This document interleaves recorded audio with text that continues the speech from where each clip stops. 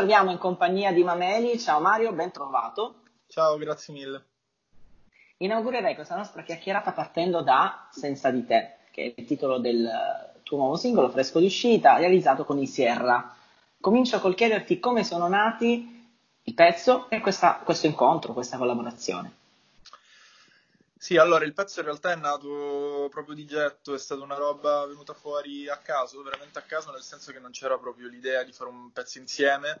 Loro sono venuti da me in studio a Milano a gennaio, perché praticamente dovevano registrare un provino per Rai, una, una roba, cioè praticamente il mio manager, ha, avevamo un manager in comune e quindi loro sono venuti in studio da me perché appunto io li dovevo registrare.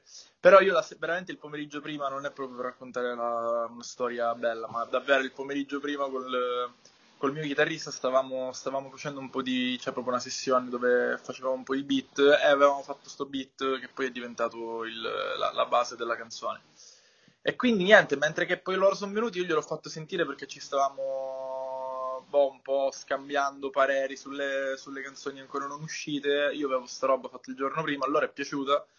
E, ehm, e basta, e poi in, uno, praticamente in un'ora e mezza hanno, hanno messo le strofe. E, e, in un pomeriggio abbiamo scritto il pezzo. Cioè, il pezzo, praticamente, dal momento in cui inizi- ho iniziato io ed è poi finito, è stato un giorno.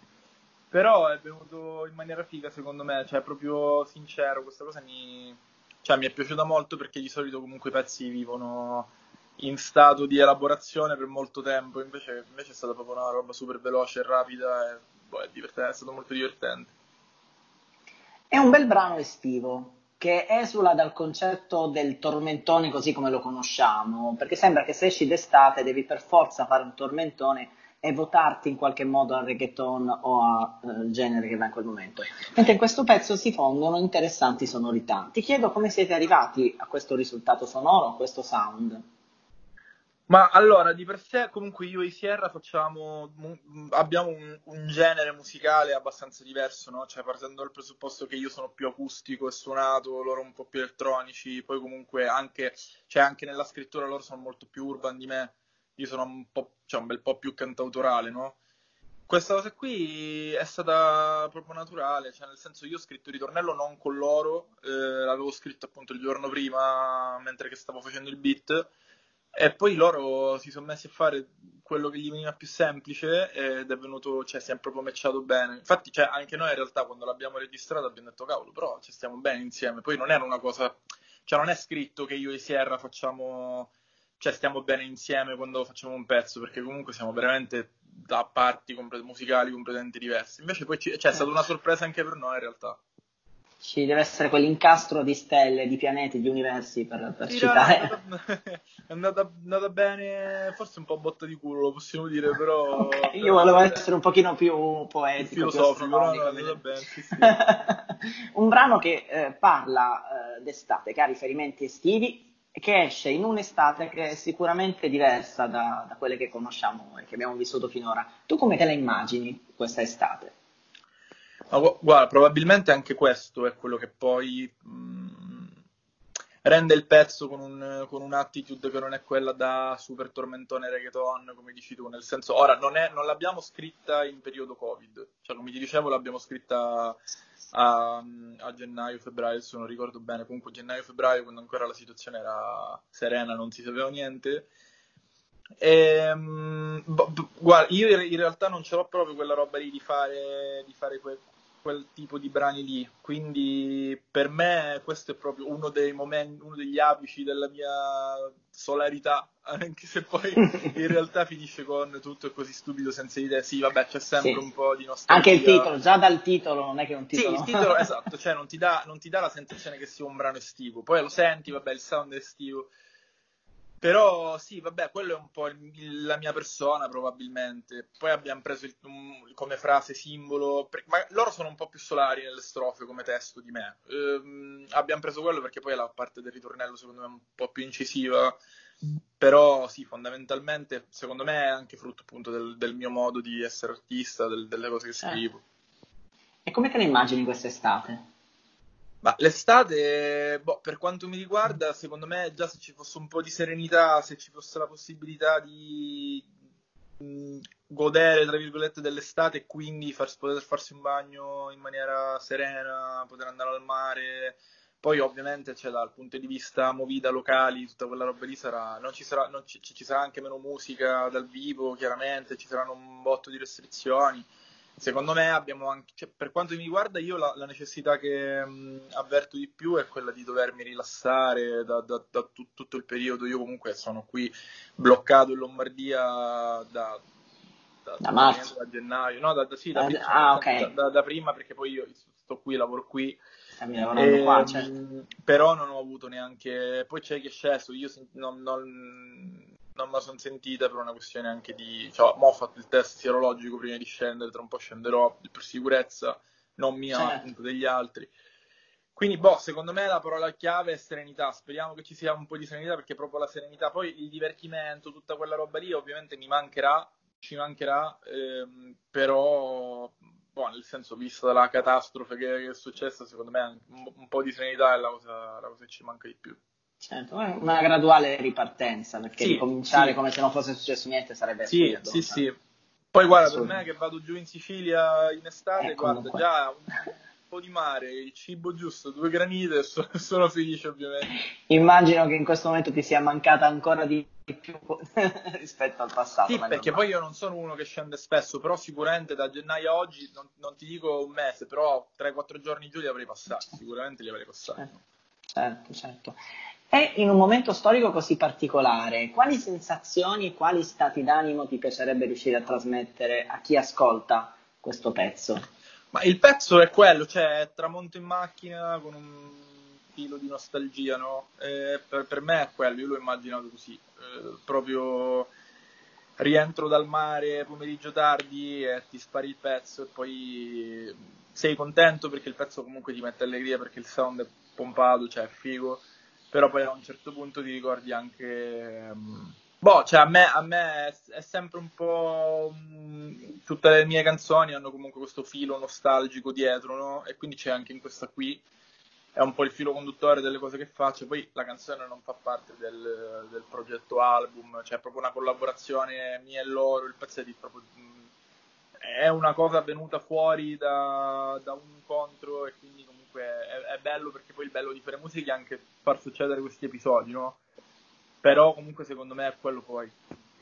Ok, a proposito di nostalgia e a proposito di live che quest'estate saranno centellinati, noi ci siamo visti lo scorso dicembre in occasione del tuo concerto qua a Milano, il tuo primo concerto in realtà, quella sera ti ho visto molto emozionato, era il tuo primo live, quindi è stata una bella serata. Tu che ricordi hai e che pensieri ti frullavano in testa in quel momento?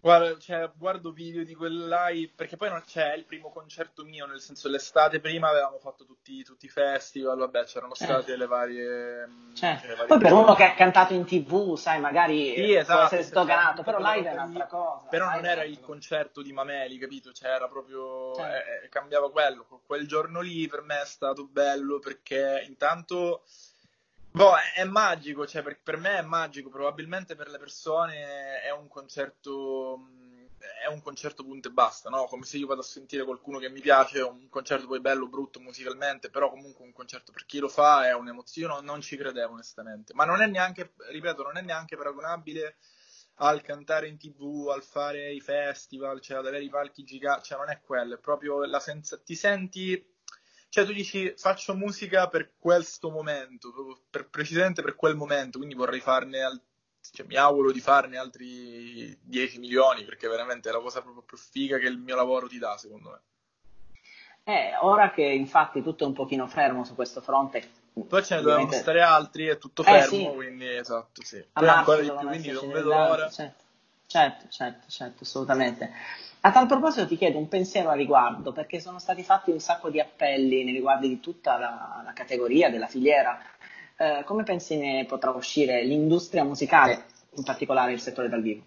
Ma allora, secondo me, eh, poi ripeto, quelli più colpiti non siamo neanche noi artisti, perché noi artisti adesso parlando proprio in maniera semplice, cioè guadagniamo da anche altre fonti, no? Guadagniamo sì. dai diritti d'autore, dalle vendite, cioè, eccetera, eccetera più che altro le persone che lavorano nel mondo del live, che non sono gli artisti musicisti, ma sono ehm, tecnici, gli addetti, mantuti. palco, luci, Certo. fonici, eccetera, eccetera, tutta quella parte lì è devastata, cioè è completamente devastata, perlomeno è stata devastata nel corso di questi mesi.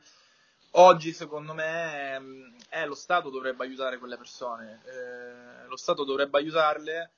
Mi rendo anche conto che non è semplice, però il problema è che loro non hanno proprio una riuscita, cioè è davvero uno di quei lavori, cioè non esiste lo smart working, non esiste la, non esiste la possibilità di trovare soluzioni alternative, quel lavoro lì esiste in quella proiezione lì o non esiste, infatti i live non sono esistiti. Adesso io mi auguro che con le nuove normative, che con eh, le capienze ridotte, che con la distanza, eccetera, eccetera, queste, queste persone ricominciano a lavorare perché mi rendo conto, e ne conosco persone che lavorano anche con me, mi rendo conto che sono in una situazione di, di grosse difficoltà. Certo, non solo i live, perché molti progetti discografici sono attualmente in stand-by, alcuni sono stati rimandati in attesa di momenti migliori. Sì, però nel senso il progetto discografico, allora, il progetto discografico sì, eh, ovviamente poi c'è stato anche inaspettatamente, almeno così mi hanno detto, un, ma l'ho notato anch'io in realtà, un eh, rallentamento degli streaming, nonostante comunque Sì. ci siamo tutti a casa, però Nelle poi... prime settimane c'era stato un boom, poi dopo la seconda invece c'è stato un profondo calo, Sì, perché ovviamente tutte le persone, cioè è un po' come il calcio, è sceso l'hype proprio, è sceso l'hype della Sì, musica perché ovviamente sì. alle persone interessava di altro. È una crescita graduale, dobbiamo essere tutti, tutti... cioè noi, noi lato artisti non dobbiamo smettere di fare la musica per questa cosa perché in realtà la, la musica poi ti aiuta anche a risollevarti dal punto di vista emotivo, dal punto di vista mh, appunto dell'umore, eccetera. Lato live, secondo me, si deve iniziare a ragionare a come, a come portare avanti questa cosa perché, ripeto, ci sono migliaia di persone che stanno soffrendo ed è tutto, cioè, ora sta ripartendo, ma è stato fe- fermo, ma fermo davvero per eh, boh, Certo. quanto? quattro mesi, è stato proprio fermo, tutto fermo. Cioè. Assolutamente. Io mi riferivo più che ai singoli che per fortuna stanno uscendo, i brani comunque ci fanno compagnia e ci danno la parvenza. Beh, tutte le promozioni, tutta tutto quella roba lì sì, sta mancando. Promozioni, album, quello- su ecco. Skype. eh. Sì, sì. Tra l'altro, e volevo chiederti appunto, i tuoi progetti discografici se hanno subito una battuta d'arresto, mm, come, come stanno procedendo i lavori dell'album, perché poi sei al lavoro con un disco. Il- bah, non ha subito un arresto, ma so- cioè, for- fortunatamente perché poi io sono anche produttore del disco, quindi, quindi sono io che me la suono e me la canto. e quindi... A casa hai tutto? Sì, non per tutto, fare una però. È stato un giorno dove sono andato Ok. in studio, ho preso tutte le cose che mi servivano le ho portate a casa, no? Ok. Vabbè, adesso anzi in realtà sto riprendendo a lavorare con, con gli altri, cioè con gli altri musicisti e produttori. Per tre mesi ho lavorato da solo. Poi è- io sono abituato perché tanto guarda, il mio primo inno, il mio primo EP l'ho fatto da solo a casa, cioè che non c'avevo manco lo studio, quindi l'ho fatto a casa proprio da solo. Eri in un lockdown tuo personale. Sì, sì, cioè non c'era lo studio, c'eravamo io, il computer, le casse e le cuffie, cioè appunto. E quindi adesso c'era lo studio, peccato perché, no, vabbè, comunque in realtà poi siamo riusciti a fare tutto. Onestamente Certo. adesso stiamo finendo.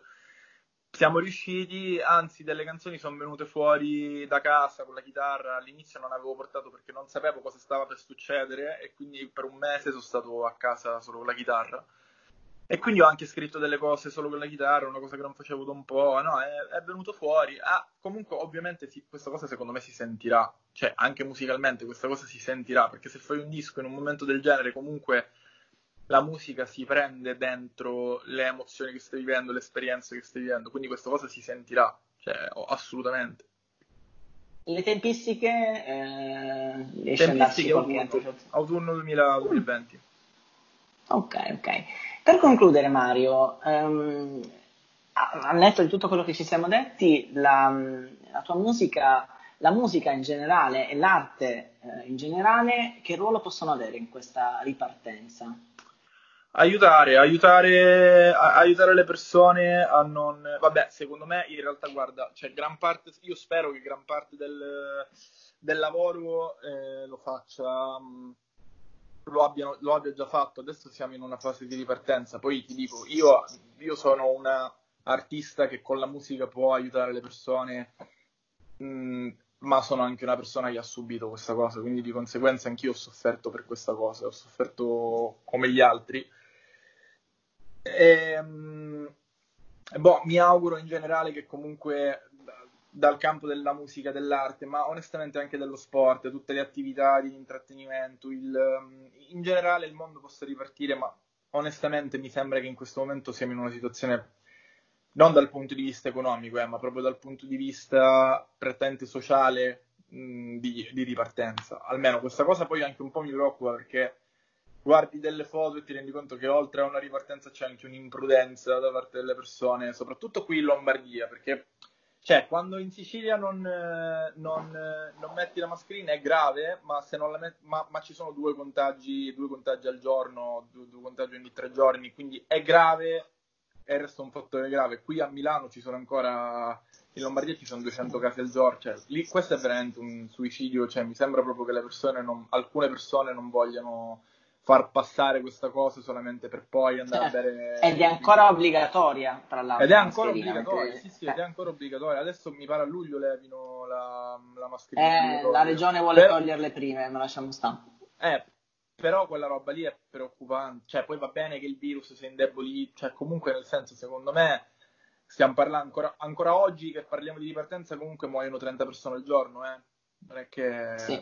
è che dici stiamo però boh, mi auguro comunque che tutta la parte artistica dell'intrattenimento possa, possa, aiutare, possa aiutare. Ah, ci sono state comunque varie, varie mh, operazioni che hanno aiutato sia economicamente, sia per quanto riguarda i tamponi, sia clinicamente, tu, tu, tutta la questione. Speriamo questa cosa continui, speriamo finisca il prima possibile. Ringrazio Mamelin per essere stato Grazie. con noi, ricordo il titolo del tuo ultimo singolo Senza di te realizzato con i Sierra. Ti faccio un in bocca al lupo, ti auguro buona estate e soprattutto se anche se quest'estate ce ne sarà un pochino di meno in giro, buona musica. Grazie mille, anche a te. Ciao, alla prossima. ciao, ciao. ciao.